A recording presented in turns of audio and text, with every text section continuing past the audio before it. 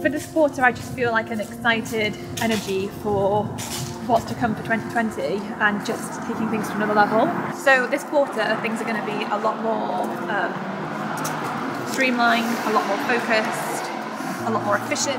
Actually, my word for the year next year is revenue. It's never ever been a word of the year for me, ever, ever, ever. I really want to focus on um, on growth, impact, serving the audience, but um, but the word that I'm so far choosing that I feel most aligned with is revenue.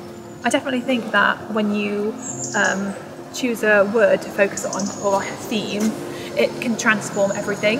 Um, like I was having a conversation with someone the other day, and she was saying about how she um, decided that her priority was going to be self-care. That was the focus. That was the priority.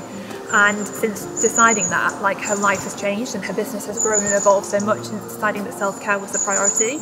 And so for me, it's the concept of where focus goes, energy flows. So if I'm focused on revenue generation, then that's what I'm putting my energy into, my time into, and that's what's going to evolve and develop.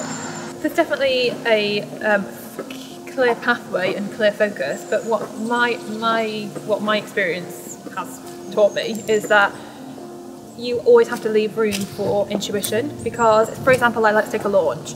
You can plan out the perfect launch on paper. You can write the perfect emails, the perfect graphics, set the perfect Facebook ads up.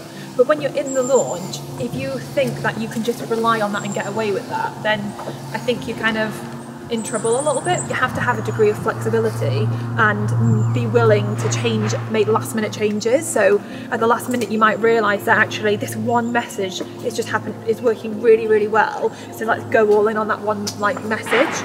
And so you have to be willing to change.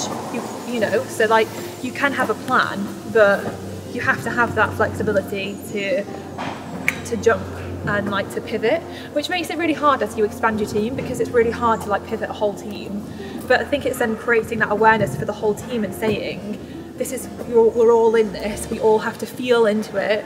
Like we all have to feel into what is working, what is not, um, so that we can actually create real momentum and see real growth and success.